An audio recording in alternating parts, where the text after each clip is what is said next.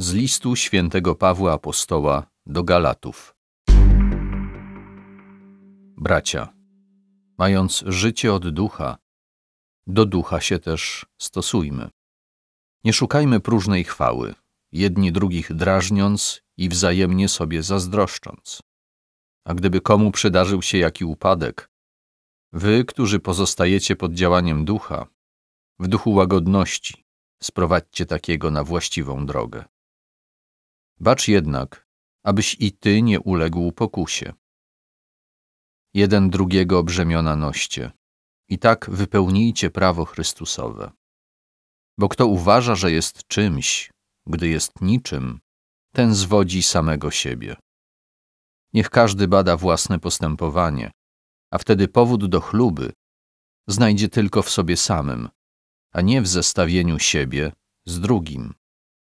Każdy bowiem poniesie własny ciężar. Ten, kto pobiera naukę wiary, niech użycza ze wszystkich swoich dóbr temu, kto go naucza. Nie łudźcie się. Bóg nie dozwoli z siebie szydzić. A co człowiek sieje, to i rządź będzie.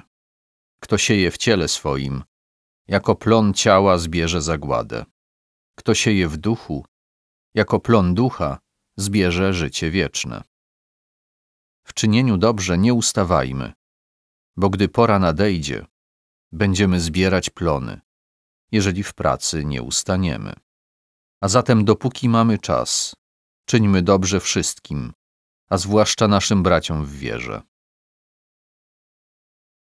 Przypatrzcie się, jak wielkie litery własnoręcznie stawiam ze względu na was. O ludzkie to względy ubiegają się ci wszyscy, którzy was zmuszają do obrzezania. Chcą mianowicie uniknąć prześladowania z powodu krzyża Chrystusowego. Bo ci zwolennicy obrzezania zgoła się nie troszczą o zachowanie prawa, a o wasze obrzezanie zabiegają tylko dlatego, by się móc pochwalić waszym ciałem.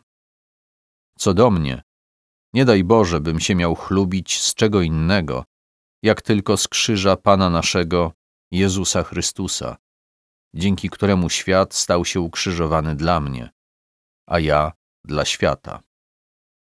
Bo ani obrzezanie nic nie znaczy, ani nieobrzezanie, tylko nowe stworzenie.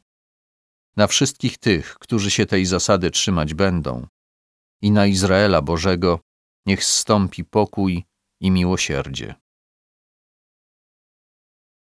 Odtąd niech już nikt nie sprawia mi przykrości. Przecież ja na ciele swoim noszę blizny, znamie przynależności do Jezusa. Łaska Pana naszego, Jezusa Chrystusa, niech będzie z duchem waszym, bracia. Amen.